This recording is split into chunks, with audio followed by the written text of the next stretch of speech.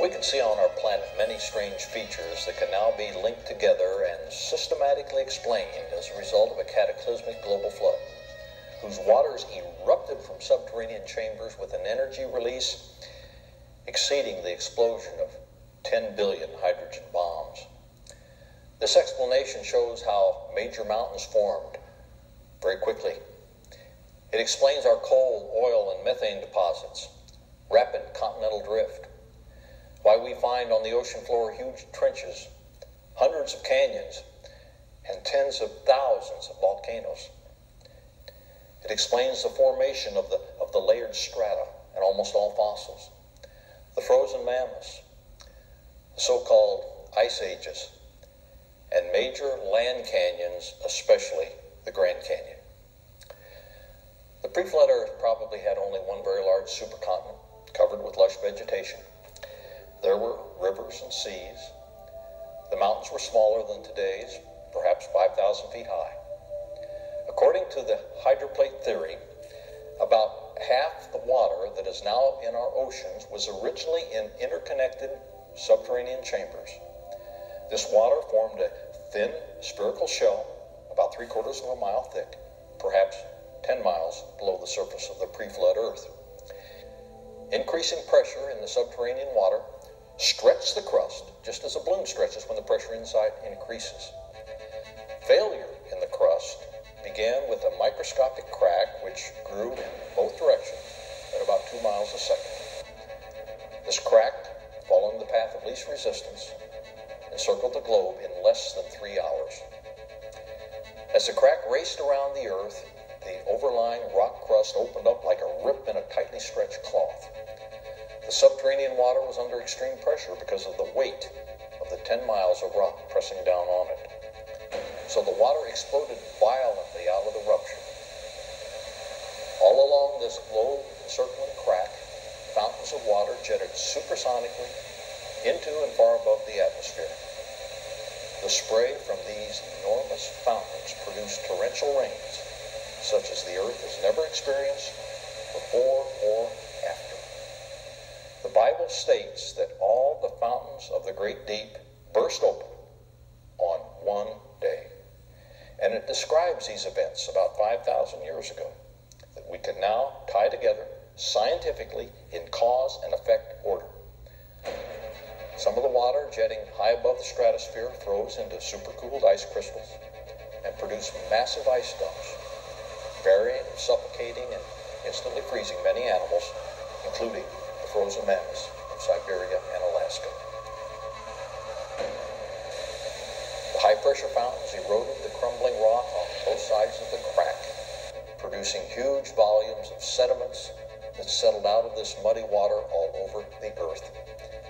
sediments trapped and quickly buried plants and animals, forming the fossil record. Vegetation uprooted by the floodwaters accumulated in certain regions where it was buried and compressed rapidly becoming our coal, oil, and methane deposits by processes we can duplicate in the laboratory today. Eventually, the rupture became so wide that the newly exposed compressed rock beneath the subterranean chamber sprung upward, giving birth to the mid-oceanic ridge that wraps around the Earth like the seam of a baseball. The continental plates, the hydroplates, with lubricating water still beneath them, slid downhill away from the rising mid Atlantic ridge.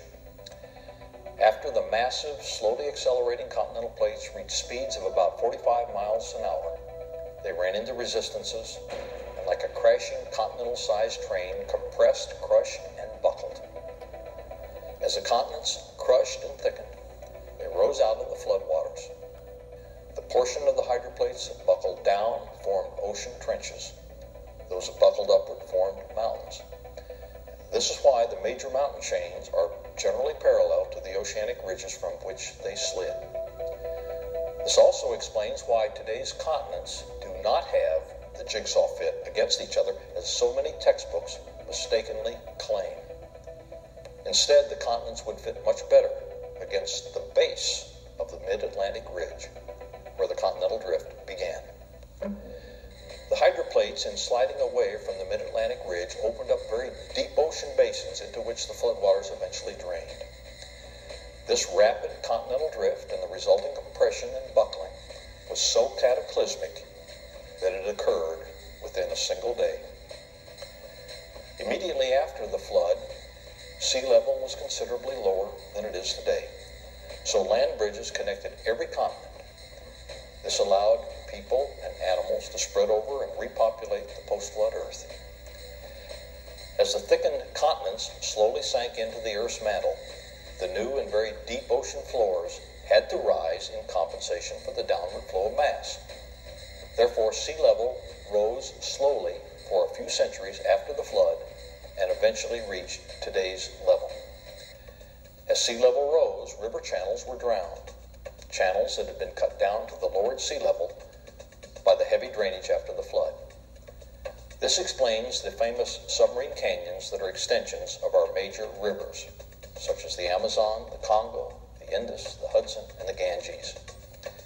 Because some submarine canyons are almost three miles below today's sea level, we can conclude that sea level and some seafloors were about three miles lower than today. The rising sea eventually flooded the land bridges and produced the look of the continents as they appear today, separated by water. As the floodwaters drained off the continents, every continental basin was naturally left brimful of water, producing many post flood lakes. Because of local conditions, some of these lakes simply dried up. Others continued to collect water from rainfall and drainage from higher elevations. Sometimes a large lake spilled over its rim at the lowest point, eroding a notch. If the rim wall was composed of sediments that were still soft, the escaping water quickly enlarged and deepened the notch. As the volume and speed of the escaping water increased, so did its eroding power, until the entire lake surged through a deep slit, forming a canyon. The largest canyon formed by this process is the Grand Canyon of Arizona.